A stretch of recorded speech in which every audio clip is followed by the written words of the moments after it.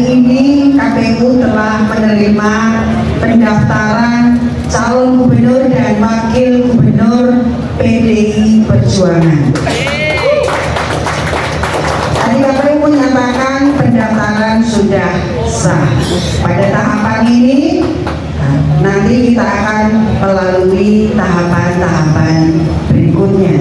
Selanjutnya kami sampaikan calon gubernur PDI Perjuangan Jawa Tengah adalah Bapak Andika Perkasa yang akan diwakili oleh Mas Henry.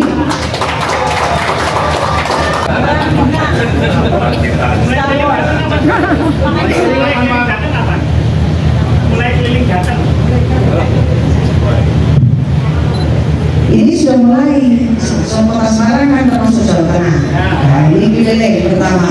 Besok kita jadwalkan seperti biasanya kami akan memberitahukan kepada teman-teman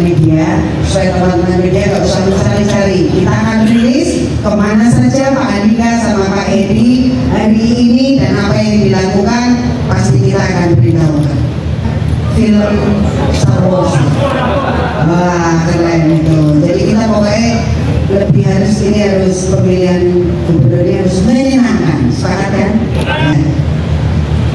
Masyarakat di Jawa Tengah sudah bisa menilai dan eh, harapan saya motonya KPU ini juga menjadi moto seluruh lembaga yang ada di Jawa Tengah. Yakin saya, kan sudah adem ayam sekarang, sudah tidak seperti kemarin. Udah terus sampai proses coblosan. Amin. Terima kasih Bu Agus Tina. Eh, pertama, rekan-rekan media, kami tadi secara resmi didaftarkan oleh DPD PDIP Jawa Tengah. Yang tadi sebetulnya langsung dipimpin oleh Ketua DPD PDIP dari Jakarta melalui virtual conference karena memang beliau sudah bertugas. Pertama kami jelas mengucapkan terima kasih banyak kepada DPD PDIP Jawa Tengah yang telah membantu semua proses pendaftaran sampai dengan diterima oleh KPUD Jawa Tengah. Dan selanjutnya kami siap untuk melaksanakan tahapan berikutnya dari pilkada sesuai dengan keputusan berikutnya dari KPUD Provinsi. Itu aja dari saya Mas.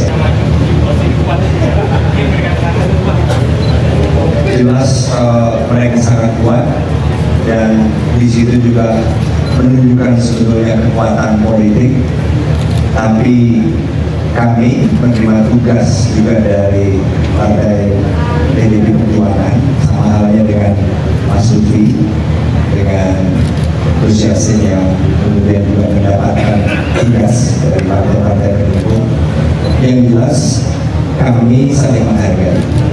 Kami kenal lama, saya secara pribadi kenal dengan Mas Lutfi sudah cukup lama sejak 2014 dan saya tahu Mas Lutfi adalah orang baik, capable, kemudian juga punya pengetahuan yang dalam tentang Jawa Tengah. Yang jelas masyarakat Jawa Tengah lah yang nanti menurut saya akan diuntungkan dengan adanya beberapa calon ini sehingga mereka bisa menentukan pilihannya sesuai dengan hati. Memang saya sama Pak Andika itu baru kemarin ketemu terima reko. Jadi secara diskusi intens pasti belum, tapi kita sudah merencanakan itu. Tapi sedikit banyak Andika dan saya meyakini bahwa Jawa Tengah ini lumbung pangan nasional dan pasti itulah yang akan kita pertahankan dan kita tingkatkan. Salah satunya ini.